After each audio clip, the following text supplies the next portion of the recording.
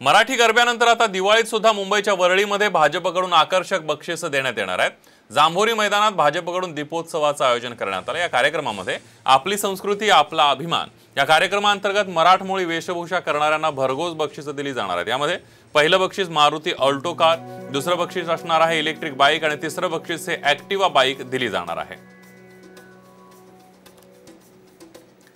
आपण बघतोय मराठी गरब्यानंतर आता दिवाळीत सुद्धा मुंबईच्या वरळीमध्ये भाजपकडून आकर्षक बक्षिसं देण्यात येणार आहेत. जांभोरी मैदानामध्ये भाजपकडून दीपोत्सवाचं आयोजन करण्यात आलेलं आहे आणि या कार्यक्रमामध्ये आपली संस्कृती आपला अभिमान या कार्यक्रमांतर्गत मराठमोळी वेशभूषा करणाऱ्यांना भरघोस बक्षिसं दिली जाणार आणि यामध्ये पहिलं बक्षीस मारुती ऑल्टो दुसरं बक्षीस असणार इलेक्ट्रिक बाईक आणि तिसरं बक्षीस ऍक्टिव्हा असेल.